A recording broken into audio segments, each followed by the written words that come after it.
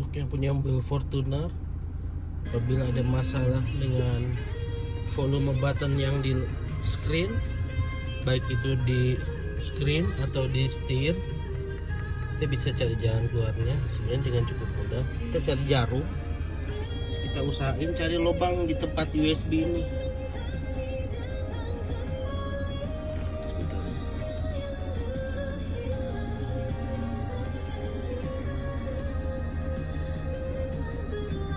kita tekan di situ. Ke jarum yang panjang agak lama ya. Kita reset.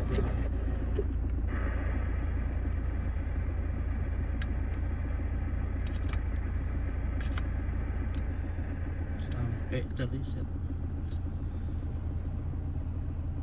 sampai ada tulisan Toyota. Agak makan waktu emang. jam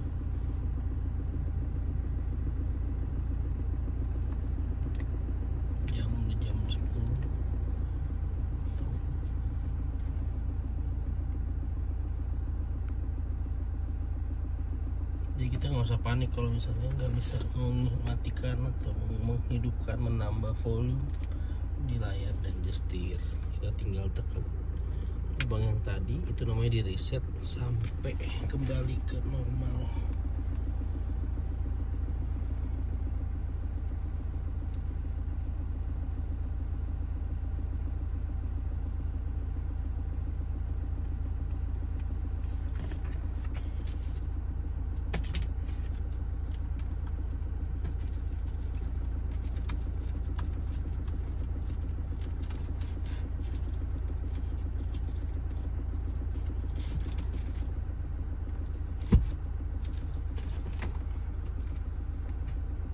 Oke, kita mulai cuma mencari.